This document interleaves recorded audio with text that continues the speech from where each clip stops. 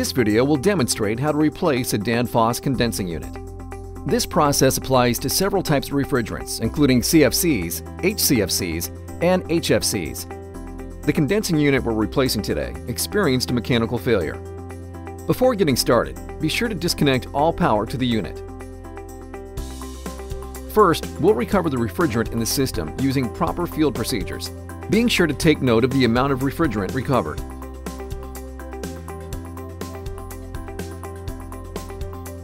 Once the refrigerant has been recovered, it's time to disconnect service wiring to the condensing unit. Remove the electrical box cover, exposing the relay. Disconnect the wires.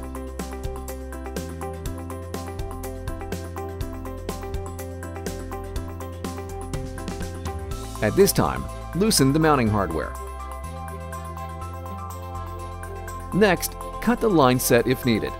Note, it may be possible to loosen the flare nuts and use the existing lines. Next, remove the failed condensing unit. If burnout has occurred, a flushing agent should be used following the manufacturer's guidelines. Next, install the new condensing unit and mounting hardware.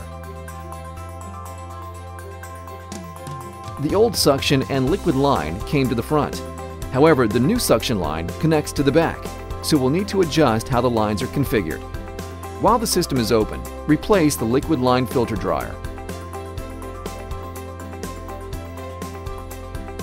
Next, clean off the tubing where it will connect to the new condensing unit. Now, braze the liquid and suction line connections while purging the system with nitrogen. Do not quench braze.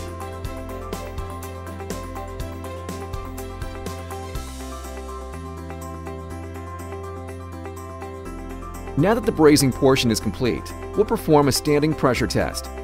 It's important to never exceed the system design pressures stated on the nameplate. Now that the system is closed, we may want to check for leaks using either soap bubbles or an ultrasonic leak detector. Once the system passes the pressure test, release nitrogen from the system.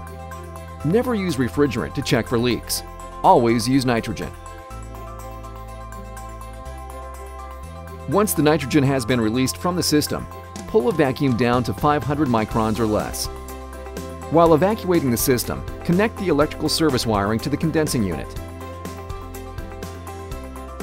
While connecting the electrical service, follow the wiring diagram found on the condensing unit.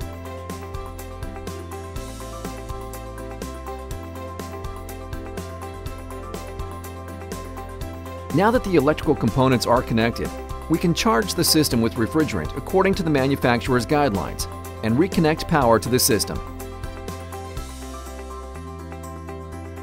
With the new condensing unit in place, the power restored, and the system charged with refrigerant, verify proper operation, and we're done. If you have any questions about this or any other Danfoss installation, please contact us at 1-888-DANFOSS or cooling.ts.mech.na at danfoss.com.